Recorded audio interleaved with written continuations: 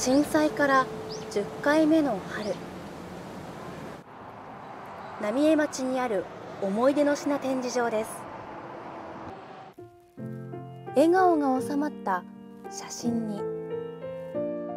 足が取れたぬいぐるみ。誰のものかわからない位牌もあります。思い出の品展示場には今までおよそ1万7000点の品物が集められてきました。種類ごとに分類されていましてこのように見つけた日付や場所が記入され大切に保管されています。震災の津波で甚大な被害を受けた浪江町。ここでは瓦礫から見つかった品物を洗って放射線量を測った後保管し持ち主に返してきました。オープンから7年2300点余りが持ち主のもとへ戻っていきました。何もかもなくなった中で、えー、皆さんはここに行く何かないだろうかと。何か一つでも例えば写真一枚でもなのかな。時の流れとともに思い出の品を引き取りに来る人も減ったことから町と環境省は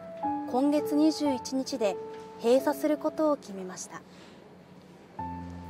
この日訪れた浪江町出身の中野さん親子。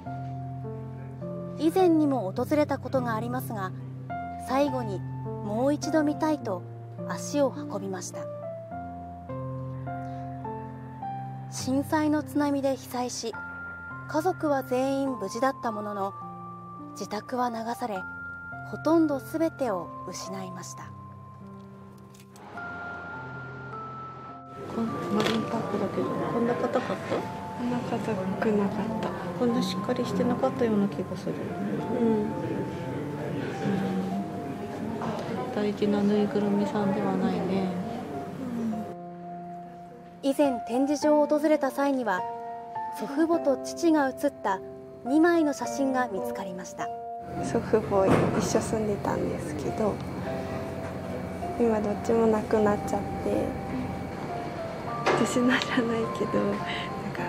こんなこういう思い出が残っててよかったなっていう思いますね。閉鎖を前に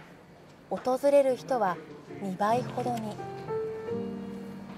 この日訪れた夫婦は20年以上前の夫の職場の写真を見つけることができました。うん、その時はね見つけて何もなかったので嬉しいなと思って、うん、預けてみることはないんですけども、うん、いいですね。やっぱちょっと持ってはいたいなと思ってそのまましてはあります、うん、まだ返すべきものがたくさんあるわけですよね、まあ、残りの少ない日数の中で、えー、1点でも2点でも返してあげたいというような気持ちで今取り組んでます。